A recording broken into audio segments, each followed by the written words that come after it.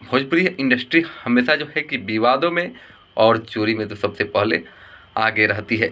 लेकिन इस बार जो है कि रितेश पांडे का एक गाना आया है, बगल वाली जान मारे ली।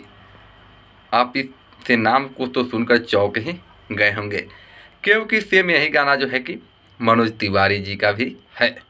और आज का नहीं कई साल पुराने गाने हैं और काफ़ी ज़्यादा हिट है। क्योंकि मनोज तिवारी के स्टाइल में तो गाने ही गजब के लगते हैं।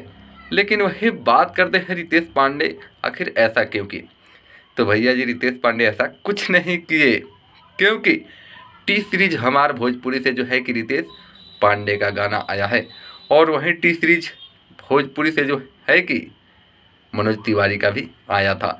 यानी कंपनी ने जो है कि उस गाने को रीमेक करवाया है।